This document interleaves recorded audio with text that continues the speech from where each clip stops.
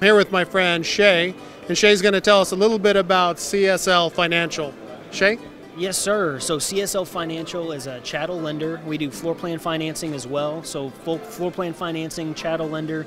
We have some niche programs like a buy four type program, secondary housing program, community lending for parks.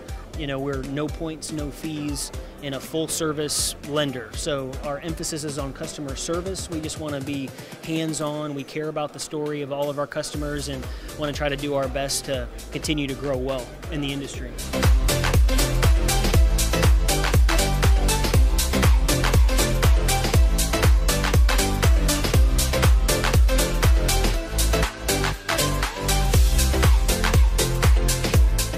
Newport Pacific is a property management company that specializes in manufactured housing.